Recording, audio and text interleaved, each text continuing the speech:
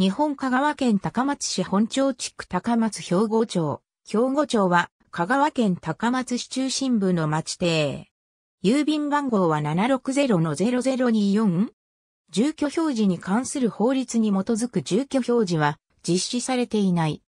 高松市役所より 0.4km、高松市中心部の都心に位置し、高松中央商店街をなす兵庫町商店街を挟んだ北側と南側を町域とする東西に長い両側町である。東町の全域を占める兵庫町商店街は東西に伸びた全長約370メートルのアーケード付き自転車、歩行者専用道路で買い物客や通行人が行き交うほか、かつて高松城下を中心とした五街道のうち丸亀街道がこの道筋を経由しており、常磐橋から東町を西進して丸亀へ伸びていた。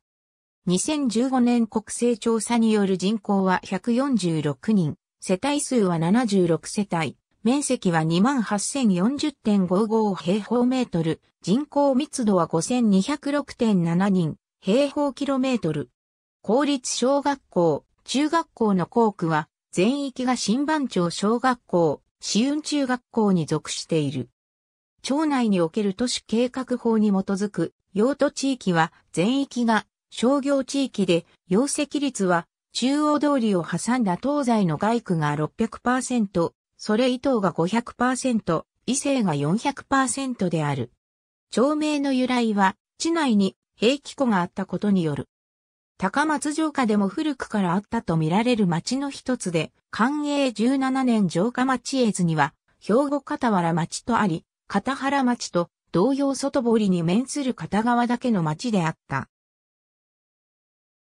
1757年、高松藩は財政難の解消と産業発展の促進のために藩札を発行するが、その際に、賞金銀と藩札との引き換えを行う、札会所を当庁に置いた。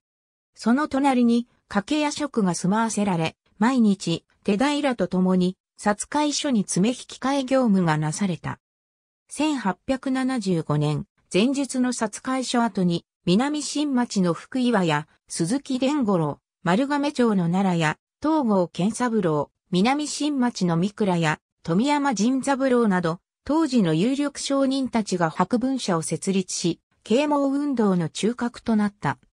同年、町内にある手習い塾をもとにして、私立光勲小学校が設立され、丸亀町、古新町などの児童520名が通学した。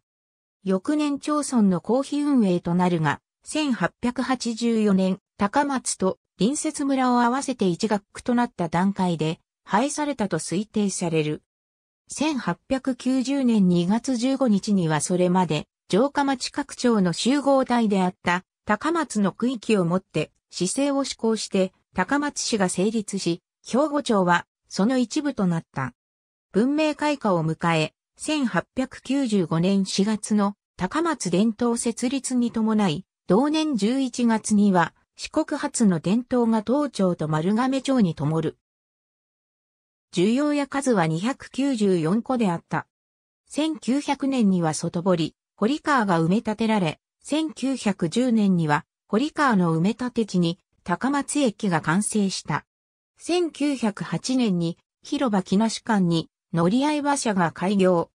1917年には高松琴平電気鉄道市内線が開通し、広場に停車場ができた。ここで下車して、兵庫町、片原町などの繁華街を散策する人が多くなり、広場界隈が賑やかになった。太平洋戦争後、市内電車は廃止されたが、広場の四つ筋を往来する人と、車は一段と増加している。1945年7月4日未明には、アメリカ軍による無差別絨毯爆撃、高松空襲を受け、町内すべてが海人に返した。空襲で壊滅的な被害を受けた高松市中心部では、大部分で土地区画整理事業が施行され、兵庫町でも第一航区一時として区画整理の対象となり、町内の多くの街路が拡張、改良された。この区画整理事業の観光となる完治処分広告は1958年7月10日である。その翌日の7月11日をもって、当町の一部が西内町及び古新町へ編入され、同時に西陣通町東部並びに丸亀町、古新町及び浜の日野との各一部を当町に編入した。掲載順は地盤の順序による。ありがとうございます。